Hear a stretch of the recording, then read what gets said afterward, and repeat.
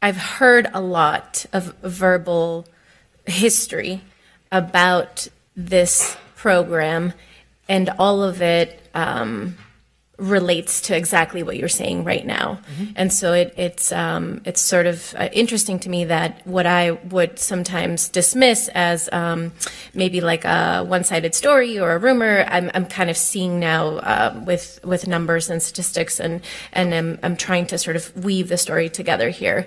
It's it's the whole point is about um, not looking at at people's intent, like did you mean to be racist? Did you mean to be mean to me? But more about what is the outcome? What is the practical, tangible outcome that right. the set of decisions that were put in place um, give us? And so I want to encourage us to put our feelings on hold